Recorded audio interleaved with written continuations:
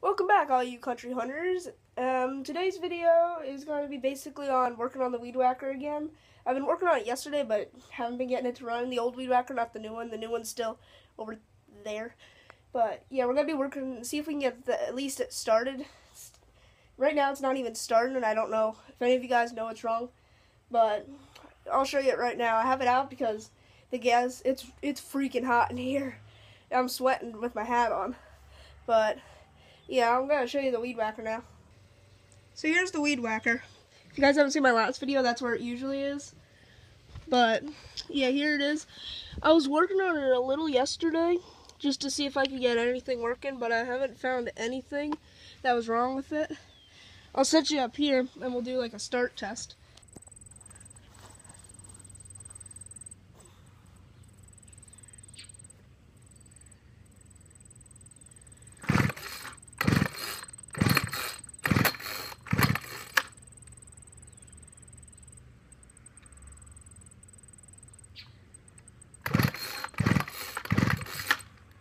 Yeah, see, it won't even start. So, I don't know if you guys know anything. Oops.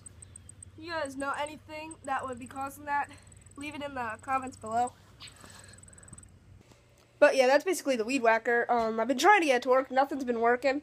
I checked the carburetor and everything, but it doesn't even look that bad. I don't know why. It, I might put new gas in it. I haven't even switched the gas. Maybe that's what's wrong with it. But I'll do that then. I'm going to go down to the pool now and give it a little backwash. We haven't been in it for a while, so I'm just going to go down and do that. Why not? Okay, here we are. Get the tube, hose, whatever you want to call it.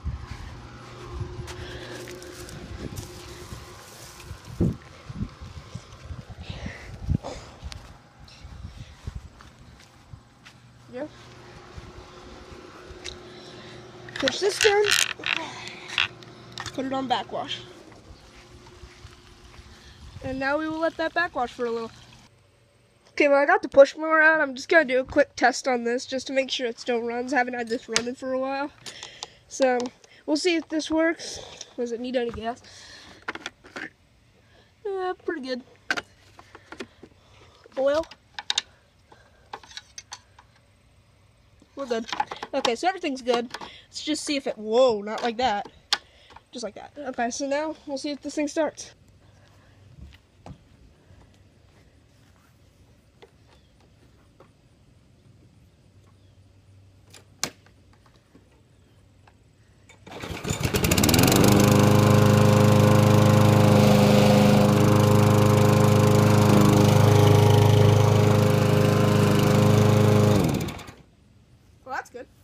least that thing works. I was hoping so badly that that would work. Well, at least the mower's running. Now I might need to mow the whole yard because I mowed that little bit. Darn it. But whatever. It's really hot. I really don't feel like mowing grass today. Uh, let's put this over here so we can get the mower back up. And I'll catch you in a bit. There we go. That's back. That's back. Okay. Now let's head down to the garage. Tractor's still at the same spot. This is still down. Now let's just close this. Oh, geez, one-handed is not the easiest thing to do.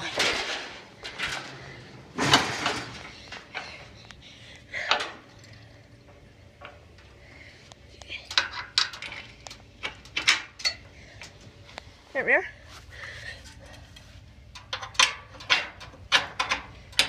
There we are. There's the Harley. Yeah, here's the tractor, still at the same spot.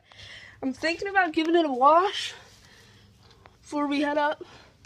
But yeah, we adjusted the blades, so now they can go a lot lower. There we are. I've been checking the engine and stuff. Everything seemed to go pretty well. The only thing that sounds a little funny, there's something that keeps rattling underneath. Like right where this belt is. It might be the belt. I'm not sure. But it makes like a like that. And I don't know what that I watched the belt. It does have a little bit of vibration, but it doesn't look like that much that it would cause it to do that. So, I don't know. Hey, there's the spot if you see my last video where I left the grease out. but anyway, let's head back up to the shed.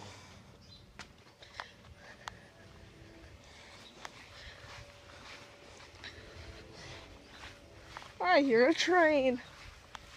Hey, there's the catbird. Has a nest right there. If you see my last video how I collect old bird eggs, yeah, we have nests everywhere. Over there we have a bird box. We had tree swallows in there. We had catbirds over. There's like a Christmas tree in our yard, like grown, like a pine tree. We have, that's my aunt's house. Um, she has robin in that tree. There's like a, another robin in that bush. I mean, two bushes, two robins. And then right in here, I can actually show you if, not in here, right here, you can see. I think that one actually still has babies in, but hey, there's a rabbit. Got any, want to see a rabbit? it's like my pet rabbit. Yes, I have a pet rabbit. You still haven't seen it. But, yeah. I don't really know if we're gonna be using this one anytime soon because we're really trying to get this one to work because now that we have a blower for this, I mean, we still have this blower. We have two freaking blowers. We have this one. This one's gas. We have one down there that's electric. But we're just thinking about keeping to use this one for blower because this thing, when you put this on high, no, that's run. I haven't used it that much, I forget what it is. But when you put it on high and you pull this fully, that thing blows a lot of freaking air. So yeah, it's pretty good. If you see one of these brands and you want to buy that, I'd really recommend that. That's a good, oh, it's right here. the electric blower. How many of you were screaming at me for not looking at it? But yeah, that's, oh, oh, you guys see what I'm looking at? Yeah. My aunt has a groundhog over here. Right under there. That's what I'll do. I'll set a trap. What is that? Jesus! That was a big freaking fly. How many of you guys hate when you walk up to a fly and they're big and they just buzz right in your face and they make you think that you're gonna like bite you or something? I don't know. I always had that fear. But I need two hands to get these down, so I'll be right back. Okay, well, finally got them down. I am boiling. It is like 100 degrees in here. But yeah, there's two traps. There's this big one, and there's a little one in here. I'm going to use the little one just because we don't need any bait. It usually just runs out that way, so it'll hopefully run and snap. I'll show you how it works, but um, let me just... I'll switch the camera so you can see me getting it out. This isn't going to be too hard. Okay, here we are. So what you'll do is you'll lift this, push this in, lift this up, reach in, tiny trap, and then leave that one down. And there we go, got the tiny trap. So let's go. This is just a size comparison. This is the one we're going to be using. It is so hot, I had to take off my shirt and everything. It is boiling. So yeah, see, we're just gonna put the trap right here, and then he's gonna come out here, and then he'll hit the trap. So let's quickly set it. There we go. Hold that up. And there we go, now it's set. All he had to do is put this pin, and then when they step on this trigger plate, it'll snap shut, and we'll have ourselves, hopefully, a groundhog. But, yeah. So that's going to be about it for today, you guys. It is freaking boiling. I am sweating. I need to go jump in the freaking pool. But I just want to thank you guys for watching, and I'll see you hunters, country folks, whatever you want to be called, in the next video.